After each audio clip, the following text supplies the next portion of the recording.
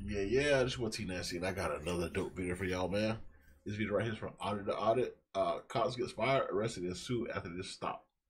Now, like I said in my previous videos, I love reacting to this type of video just because I like to get my point across, my own take on it, and also to do my part, like, to get this stuff out here. Even though you have bigger channels in mind, like Audit the Audit, Lackluster, and uh, other channels, but I like to get my own, I like to get my own personal reaction and my own personal opinion to this type of stuff, right? Because, dude, it has to stop at some point, right? Mm-hmm.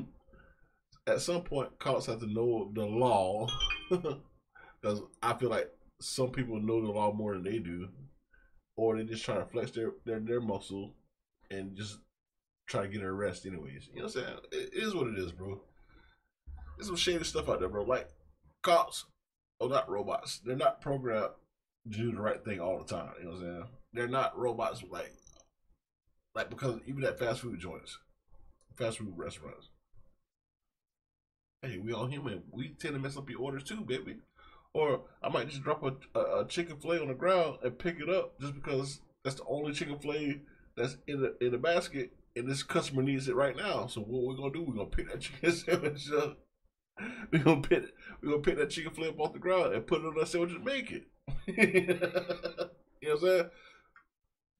It's, it's harsh but true. You know what I'm saying? At the end of the day, it's still a job. You know what I'm saying? Whether they do it right or wrong, and the only problem with cops is that they back each other.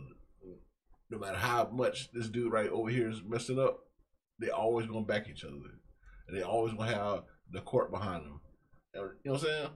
There's always ways out of stuff, right? Because some people don't have money to, to pay for a lawyer to fight whatever this cop got going on. You know what I'm saying? So I'm here to say, you pulled me over. also bogus stuff, man. Hey, I got the money for a lawyer. but without further ado, let's go ahead and get. I'm sorry. Let's go ahead and get to this reaction because it's a 20 minute video. This episode covers hindering, excessive force, and vehicle searches, and is brought to us by ABC News 4's channel. Be sure to check out the description below and give them the credit that they deserve. On August 20th, 2020, Corporal Robert Barano of the Summerville Police Department initiated a traffic stop on 42 year old grandfather Timmy Miles after he drove away from Damn, his Summerville, South Carolina residence. Prior to the yet. stop, Charleston police officers had intercepted a FedEx package containing marijuana that was sent to Mr. Miles' home, but addressed to an individual who did not live there, and, according to Mr. Miles, was not known to him or his family. As part of a narcotics surveillance operation, officers from the Summerville PD delivered the package to Mr. Miles' front porch, and at least two officers watched the package from a wooded area behind Mr. He knew something about it, though. I At one point, the officers lost sight of the package, and when Mr. Miles Even drove they away, don't live anymore, he knew something about it. him over on the mistaken belief that he had picked up the package and put it in his vehicle. Corporal Barano approached the vehicle, and the encounter that followed was captured on body camera. Uh-uh. You just Uh-uh. gave- all right. I know what you picked up. I know what you picked up over there. Okay. What I picked up? Yeah. One well, tell you, seven, one, four. come on. Get out of the car. What, what, no, on. I ain't getting out the car till y'all tell me what's going on Well, we're now. about to tell you what's going on. Come on out. No, bruh. What, what, what's going on? I, let me of record this. Okay. Y'all got You y'all, can whoa, whoa, what y'all got y'all Yeah, camera we're on? recording right now, so come on What's out. What's going on? We got the Step camera out of the on. car. Yeah, come on out. Tell you. All right. Come on out. Oh, 'cause no, I no, don't no, wanna don't have to grab me. force Don't grab me. Don't grab me. All right, well, we're telling you, giving you lawful I'm order. If you don't get out, you're about to get ripped out of the car. Well, go ahead. So don't. I got a back problem. Don't rip me out I'm not trying to do that. So come on out. Come on out. We'll explain it to you. We're it gonna you. tell you, dude. Come on, step out of the car. If, let me go. No, I'm not letting you go. Bro, let Uh, me This is go, your bro. last chance, man. No. 'cause you're... Get the f out. Me, me personally, in this situation, I'd have got out. You know what I'm saying? I'd have got out. Person, me personally. Hands behind your back. Why you punch me in my face? I don't know what's going on. Yeah, up. Up in the. If you got your camera punch We got, me in my we got a camera, bro. Somebody punch me in my face. Hey, bro. Oh, Johnny, what's going on? What's going on? When Mr. Miles refuses to exit the vehicle without an explanation as to why he was stopped, Corporal Barano grabs him around the neck, pulls him from his vehicle, and strikes him several Now- times in the face. In his defense, bro,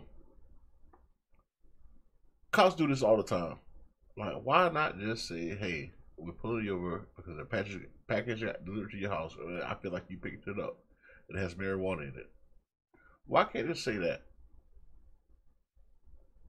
Right? Uh, even though the dude probably like, oh no, I ain't putting up, no, no, no, but the why not giving the information? You know what I'm saying?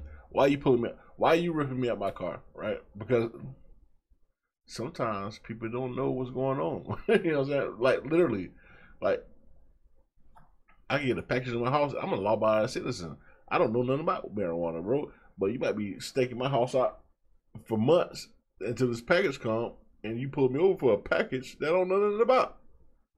Hypothetically, but you know what I mean case. We will explore my car. Barano's use of force later in this episode. First, Tell me it is why. necessary to discuss the legality of Mr. Miles's conduct in refusing to exit the vehicle. As we have mentioned previously here on ATA, courts know why have it's so hard. It's generally like, hey, concluded we that pull it officers out- are we pull it out not and you cover this. constitutionally required to Sorry about inform that. citizens about the reasons they have been detained. And although Section 17-13-50 of the South Carolina Code makes it illegal under state law for an officer to, quote, refuse to answer a question relative to the reason for the arrest posed by a person who has been arrested, that's a problem. statute does not apply to Terry stops. Additionally, officers typically have the discretion to require individuals to exit vehicles during traffic stops, and for this reason, an order to step out of a vehicle is typically considered lawful. While South Carolina's Like I said, me hindering personally, statute, which I'll get out the found in car. Section 16-5-50 of the South Especially if Carolina know I do is nothing wrong, I'm getting out of the car. Arrests. Under Section 16-1 of the Summerville Hey, put me Code take me to jail. I've been in jail before, so, quote, for any person to refuse to obey a fight it in lawful court. order of any officer Me of the police department for the town engaged in the discharge of official duties. However, if he was charged with violating this ordinance, Mr. Miles could attempt to defend himself by arguing that the order to exit the vehicle was not lawful because the underlying traffic stop was not based on reasonable suspicion.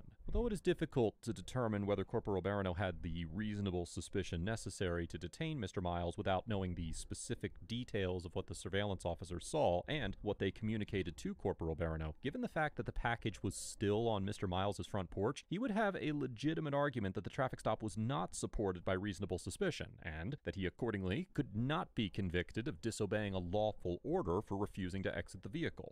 What, are- what, are- What my face hurt? Yeah, I sure do. I sure do. My face is hurt, man. Somebody. I'm a, I'm a good citizen. Punch me. We thought I was going to 300, but we get the package still there. yeah, we have to make sure if we're not, we don't have anything. They lost sight of the box, and this car left. We stopped it. He didn't want to get out. We had to extract him. It's not there. Yeah. Yep. Uh, we got sni- uh, the lookers. Still on the porch. Resisting. Oh, mother. Man, y'all get me It's on the porch still. After Mr. Miles was physically removed from the vehicle, the officers realized that the package was not inside it, and later determined that the package was still on the porch. Despite this, they continue to detain Mr. Miles and keep him in handcuffs. There you go. I ain't going nowhere. Somebody punched me in my face, but that hurt for real though. Somebody hit me hard too. Somebody going to jail for real behind this. Huh? Anybody get it? You want to search it? What? His car? Yeah, yeah, yeah. C- continue research. I mean, we'll get a dog. Get a dog because right now he's gonna say no. Let's, I mean, he didn't pick up the package, so let's get a dog. Make sure there's probable cause. We search the car. Oh, they messed up. the Trunk for safety. Come on, man. I want everybody car. Everybody car. Hey, you brave. You brave cat. With all shit on, you real brave to be punching on choking people. Man, you wrong. You had no business choking and pulling on me like that. I would have complied only if you'd have let me know what the was going on. I come out my yard, everybody swarming me and punching me and throwing me on the ground. That's ruthless. That's thuggish. And y'all called us mother. Mr. Miles confronts Corporal Barano about his use of force in choking and Facts punching him, and states that he would have complied with the order to exit the vehicle if the officers would have just told him what was going on. In the 2016 case of Armstrong versus Village of Pinehurst, the Fourth Circuit Court of Appeals, which has jurisdiction over South Carolina, determined that, quote, non-compliance with lawful orders justifies some use of force, but the level of justified force varies based on the risks posed by the resistance. Applying this precedent, The U.S. District Court for the Eastern District of Virginia, which is also in the Fourth Circuit, held in the 2022 case of Nazario versus Gutierrez that, quote, when police lawfully order a driver to exit his vehicle and the driver refuses, police may use reasonable force to remove the driver. In reaching this decision, the court recognized that, quote, a key determination in the reasonableness inquiry is whether the resistance is active or passive, and noted that, quote, verbally refusing to exit a vehicle constituted purely passive resistance. Interestingly, we explored the interaction involved in the Nazario case in a previous episode of ATA, and I've included a link to this episode in the description down below if you're interested in learning more. In the present situation, even one. if a court concluded that Corporal Barano had That the, legal uh, authority to forcibly remove Mr. Miles from the vehicle, given the military dude. entirely passive nature of his resistance, Mr. Miles has a legitimate claim that the type of force employed was excessive and constitutionally unreasonable. In the 2008 case of Cleary versus Green, That's what I'm saying, bro. Like you have these laws out here for us, right? And you have these laws to protect us as civilians, bro. There are laws out there to protect us in certain situations, bro. You just can't be beating up on people just because. Come on, man. The U.S. District We have- we have laws for a reason. also in the Fourth Circuit, held that an I'm officer not- I'm did not try to pause too much, bro. excessive force in physically removing an individual from a vehicle when she Like, was come on, spun around and slammed against the vehicle several times. However, the court justified this decision by arguing can that feel the officer vibe. You can feel like- use of force once the can individual feel the was in vibe, like- and that he did not This dude punch need to or be slap her, implying slung that out the car and use of punched force now. would be You excessive. just feel the vibe, bro. Additionally, in the 2020 Even case if- of even if somebody is breaking the law. U.S. District Court for the Eastern District of Virginia denied qualified it's- immunity to an officer on what the who delivered a single, bro. closed-handed strike to the face of an individual who failed to comply with four orders to exit. It's because I failed to comply, depending on the situation. case by the Like, if I'm a murderer or a bank robber or In support of its molester decision, or some shit like that. No more than 15 seconds. Yeah, put me in the car and between punch me in the face command I'm- I'm exit the resistant. vehicle and the But, punch bro- that the officer blocked the driver from exiting Marijuana? by situating himself You know the open door of the vehicle and the driver. Marijuana, and I get a- the driver I got a package of comply with the marijuana officer's and I orders, get punched in the face for it. That's crazy. evasive movements. now, while Corporal Barano waited about 35 seconds before employing force and did not appear to block Mr. Miles' exit from the vehicle, he used more force than Officer Painter did, as he grabbed Mr. Miles by the throat and punched him twice instead of once. And given the fact that Mr. Miles did not resist physically, or even make any threatening or evasive movements, he would have a strong argument that Corporal Barano used constitutionally excessive force against him. Please, then I'm paying my tax if you would. But you, you told me you wanted to But can. I get some medical You attention got- yes. West ambulance? Yes, I, I want to get my foot, child pregnant because I got punched Maple real 78. in my face. You know that's wrong. Well, Come on, man. Come on. No, no, you no. refuse to get out of the car. Refuse to get out of the car. I, I went like, oh, oh, this man grabbed me first. I said, why are you grabbing me? I got a right for my rights now. Come on now. You behind me. I did the right thing. I stopped. And then you ordered me to get out the car for what? This man Continue around to choking me, punching me. 18907 What's People that died over choking. Well, the good news is that you're alive and you're kicking and you're innocent. You ain't no been to choking me, bro. For choking me, you going down. You ain't had to put your hand on my neck. It ain't that serious. For whatever you looking for, bro. Miss Moses, we're doing waiting for a Keon Where's search? and that dog. Where's We the have a dog. I do not want a search on my car. I do not allow a search on my Well, here's the No, thing, no, no, no, no. I do not. I do not know con- where you conduct a search on my car. must- See what you hey, looking. can I tell? Yeah, they called him. What's to do with the trunk open, do we know? We thought there was a package in there. Who, who the driver or you guys? We did. It was supposed to be a controlled delivery. Gotcha, gotcha. Yeah, if, uh, if we can get that trunk closed for him.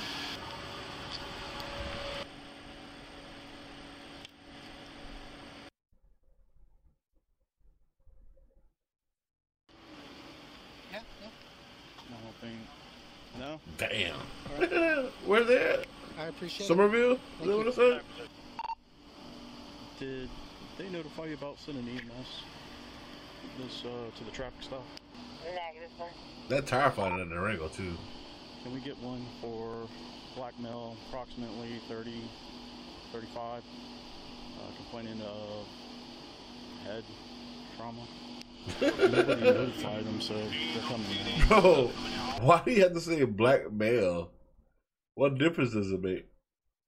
Send the EMS out. no matter what color he is or what kind of condition he is. Send him an uh, EMS out, bro. what kind of shit is that? Oh, black male, 30 to 35. What the fuck? His age and skin color got to do with anything? They're coming. I confirmed it. They're Bro, coming what the hell?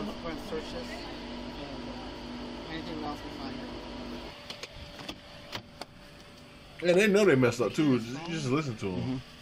So I could um, do a search warrant. Didn't admit to using marijuana. No, I did. Hey, you know what? Just do the um, and since your arrest, we'll um, hand it over rather than tow it. There, uh, this is stuff back behind here with this stuff that he's got a corner cut and it smells like weed in there. So yeah, he has a couple baggies in the front as well. Yeah, I'll get photos of them. Yeah.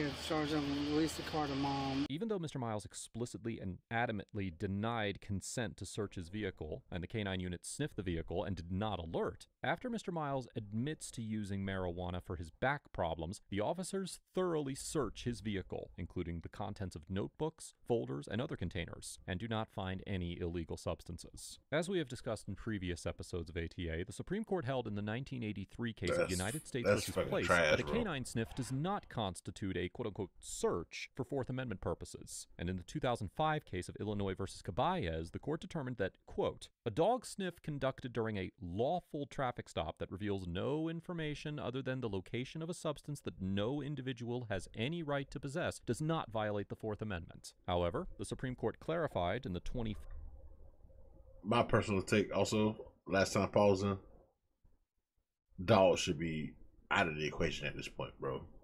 Like, Literally, bro. Like certain dogs are probably well trained, well trained to uh, find drugs, right? Well trained, but then you got some, like, can you really rely on a dog to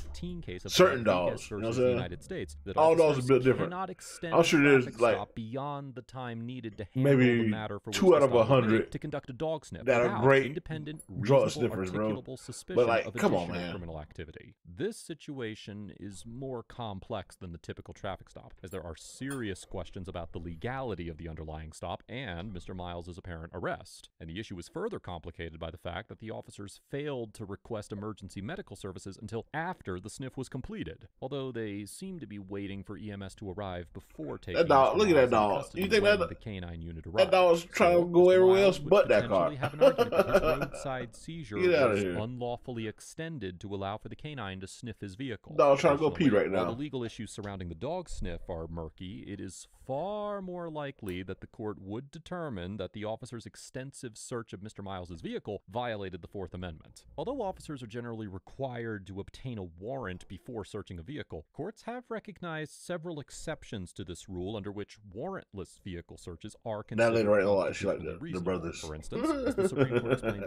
1996 case of Pennsylvania versus Labron, quote, if a car is readily mobile and probable cause exists to believe it contains contraband, the Fourth Amendment permits police police to search the vehicle. Although the Fourth Circuit Court of Appeals held in the 2002 case of U.S. versus Sheets that the odor of marijuana gives officers probable cause to search a vehicle, there is no precedent suggesting that a driver's admission to general marijuana use allows officers to search their vehicle. And in this situation, it is likely that a court would conclude that the officers did not have probable cause to search Mr. Miles's vehicle based on his admission to using marijuana, absent any evidence tying that use to the vehicle, particularly given the fact that a canine unit had sniffed the vehicle and failed to detect any illegal substances. Other exceptions like you need a lineman on that thing too, though. Inventory searches when vehicles being impounded, and searches incident to arrest, which, as the Supreme Court explained in the 2011 case of Davis versus the United States, is limited to situations where, now quoting, the arrestee is within reaching distance of the vehicle during the search, or if the police have reason to believe that the vehicle contains evidence I love, I relevant to the crime of arrest. It, a court would almost certainly conclude that these exceptions did not apply because the vehicle was not being impounded. Mr. Miles was but it's a good it's a good thing too because he actually brings out a law. To have probable cause that any evidence was in the vehicle, having already certain court situations too. Still on the porch.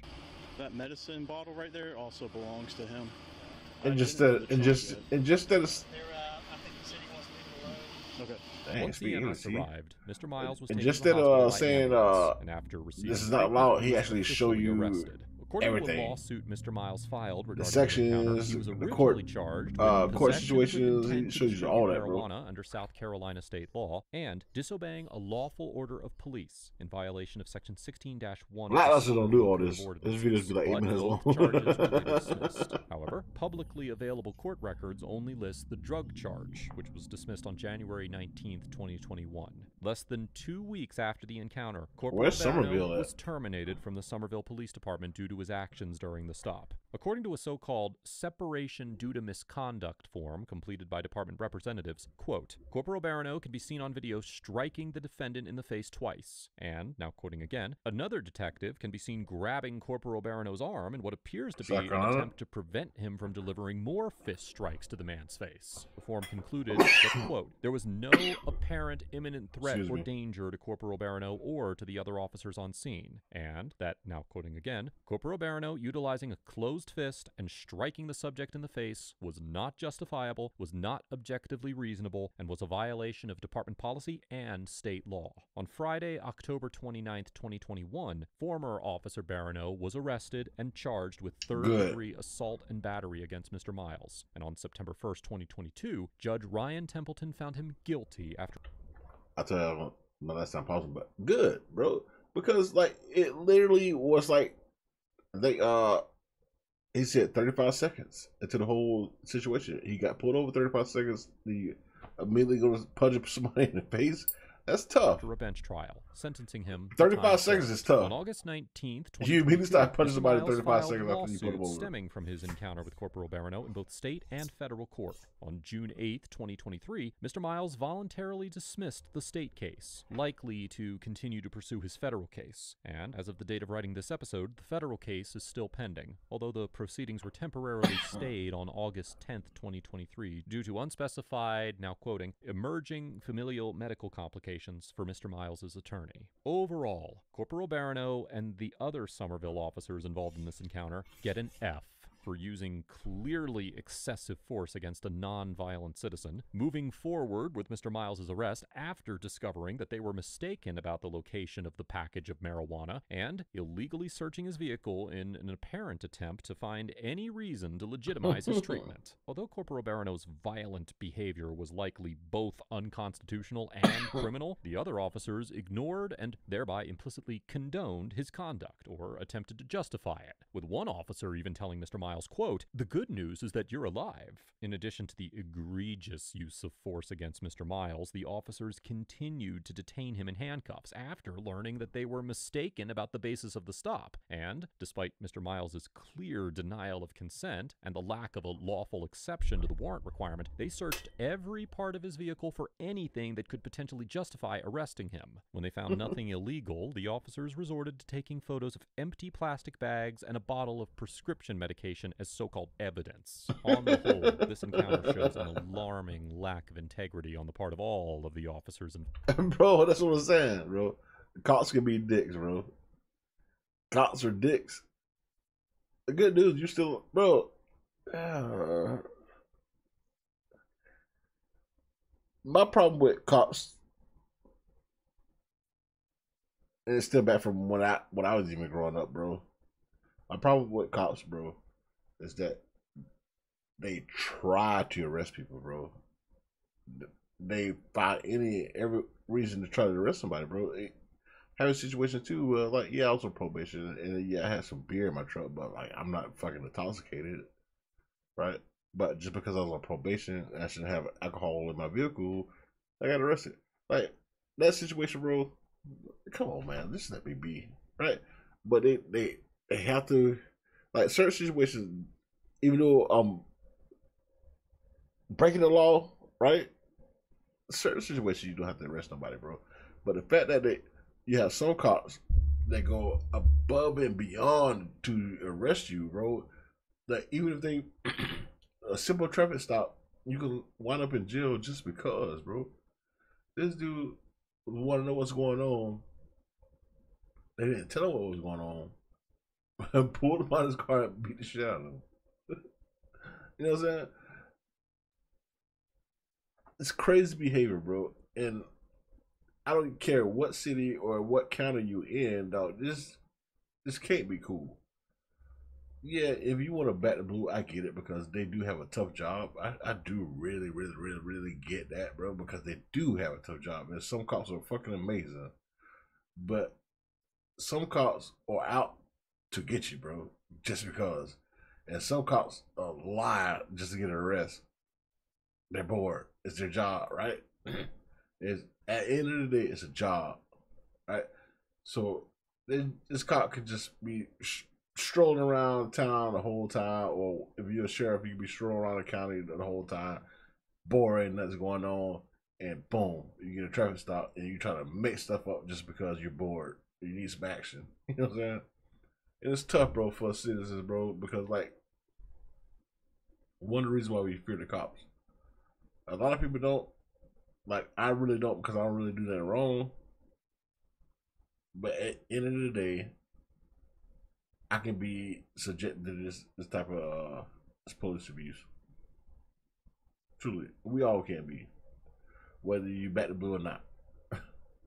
Me personally, I'm the type of dude like even if like they don't have a lawful reason to, to pull me or ask me for my ID or ask me to get out of the vehicle, I know if it's like if it's it's not lawful for me to get out of the car, I still do it just because.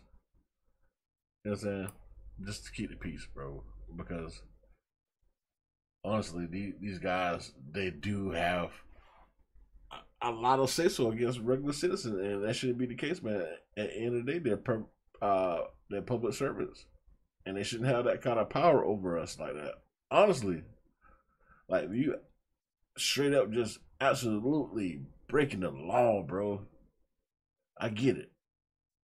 But just to be minding your business, going about your day, and just to get harassed, that's tough, bro. That's tough. It shouldn't have that type of power just absolutely harass somebody. There's been many situations where people just go about their day, get pulled over, get thrown out of their car, and it's always searched and all the. I got, bro, I got searched one time even though I didn't do nothing. I didn't break no law. I'm strolling, bro. And I got absolutely searched. and I said, me personally, even though they have the right to search my car, I said, go ahead and search it. Because I, I don't do shit. Tell them to go ahead and search it. I said, stuff like that is crazy.